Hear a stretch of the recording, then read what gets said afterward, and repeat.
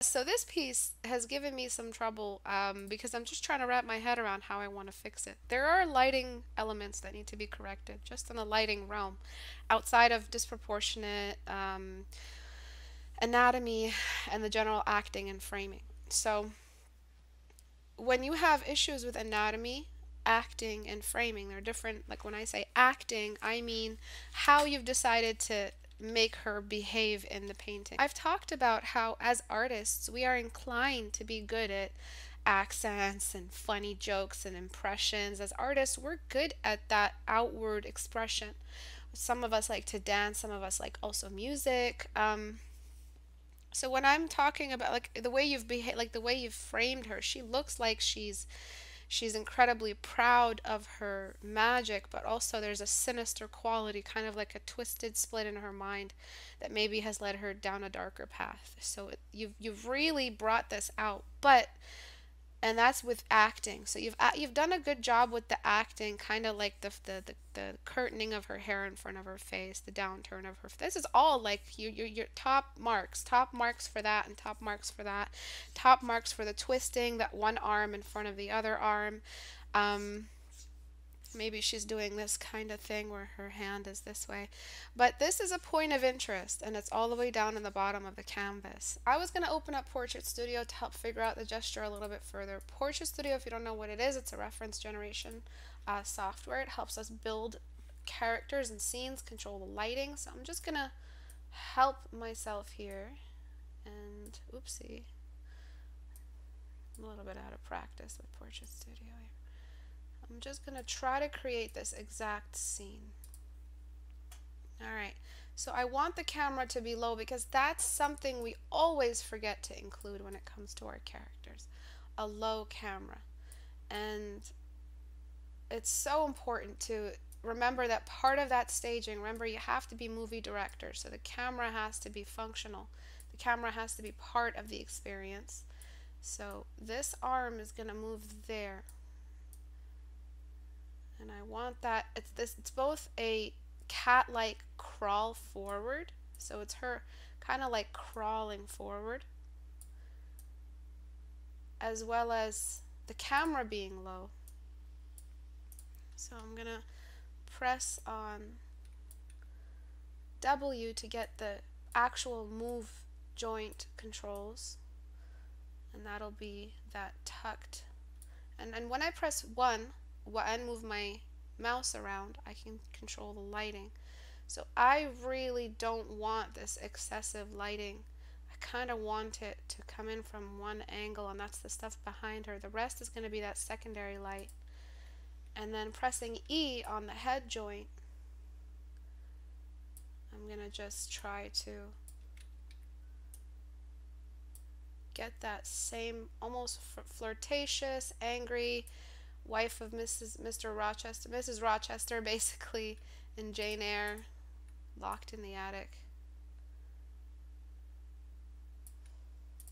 Kind of that lost madness. And then we've got that background color, uh, which we can darken down a little bit. So we've got a basic layout of how everything is looking. I do want to do one more thing, which is just kind of Press that, press on the W control and just move it forward a little more. The lighting in this case is abysmal because we've found so many issues with it so far. Um, we found that it's too bright, it's too giving, it's it's doing too much work, and it's not really casting that same magical element of like a dungeon, deep dungeon, um, you know, uh, uh, environment. Oh man, I'm having the worst chest pain. So what I'm going to do is just throw a big black darkened layer right on top of it at like 50%. And I'm going to delete away on that layer. Yo, coronavirus ain't no joke, y'all. If I die, remember me. I know you guys would. so I'm going to throw in that, let some of that magic come through, which is creating a really, really cool kind of setup here. And I'm going to just try to incorporate these corrections. I think the forehead is a little bit too high. Okay, and then we're gonna erase away at the eyes.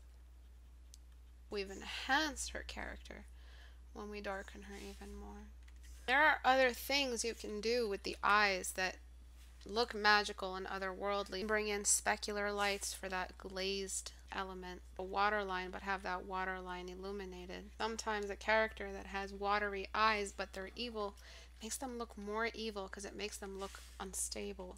The next piece is really, really similar in that all we had to do was just get a darkened layer and just plop a big environmental shadow on top of it. You can go anywhere you want with it as long as, you know, the dominant light source here is this lotus. So that means that this side of this rock, this, oops, this side of this rock, this side, this side, which is basically a shit ton of form studies, and that's all it really is, all get that pale white of that lotus flower, where everything else is dark.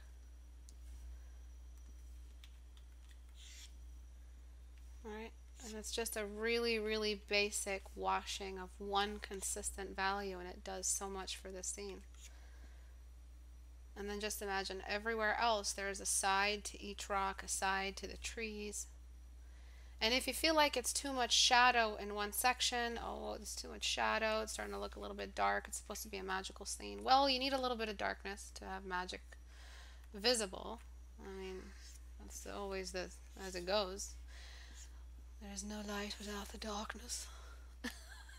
and I'm going to get that exact white. No, I'm not going to get a light beige color. I'm going to get this exact white and throw it on the skin. That's how you make things look like they're in the same environment. And if I was a movie director and I had a magical thing and I turned on the light, have you ever tried turning on the light bulb, outdoor light bulb? Like let's say some patio lights in the daytime, it just looks stupid. but then as soon as it's dark. It's just this thing is beautiful. It's glowing. It's magical. Lighting that you know you have to have, this mysterious, mystical, abstract concept that you have to have in a painting to make things visible or else everything would be black. So you're at, at odds. Really, you just had to track down the writing. The writing told you this is a magical lotus flower. Everything else doesn't matter after that. And so you've decided the, the lotus flower is what's going, whatever it is, is going to be the the ruler of the painting, the god of the painting, and everything else. Yeah, yeah. Nighttime is a thing. We can darken the. We can wait till it gets a little bit darker to start shooting, right?